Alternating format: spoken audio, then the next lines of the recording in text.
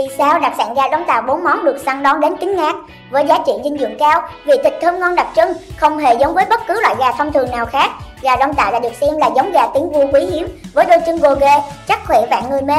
Và đặc biệt hơn nữa, đây cũng là món đặc sản tại quán ngon, được các chuyên gia ẩm thực chấm điểm tuyệt đối đó nha. Đặc sản gà đóng tạo tại quán ngon sẽ được làm thành 4 món, đảm bảo bạn sẽ siêu lòng ngay. Về lòng và da sẽ được quá món chế biến món lòng da tái chanh. Khi ăn bạn sẽ cảm nhận được độ giòn sần sật, quyện cùng vị chua của chanh tươi, kết hợp vị chát nhẹ của chuối xanh đậm đà lan tỏa trong miệng. Thịt sao khó đậm đà, màu sắc bắt mắt bởi sắc vàng của nghệ tươi, vị béo bùi của đậu phộng, chút hắc của rau quế cùng vị mặn mặn của tương bần, tất cả hòa quyện tạo nên một hương vị tuyệt hảo, ăn miếng nào ấn tượng miếng đó ngay. Về phần xương, quả ngon sẽ mang đi hầm xả, đặc trưng ở vị cay nồng, mùi thơm quyến rũ, nước súp ngọt ngọt thanh thanh tạo nên khoái cảm vô cùng đặc biệt nơi vị giác.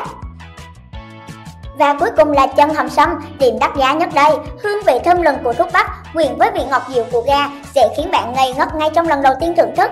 Đây được xem là bài thuốc chữa cảm lạnh trong những ngày giao mùa hoặc bồi bổ cơ thể, tăng cường sức khỏe rất là tuyệt vời. Với đặc sản gà đông tạo bốn món này thì phải 5 đến 7 người ăn mới hết đó nha. No nê luôn, món này mà mang tặng hay đại khách thì quá là đẳng cấp. Bạn nghĩ xem, món đặc sản gà đông tạo bốn món này có đáng để mình cùng gia đình thưởng thức không nào?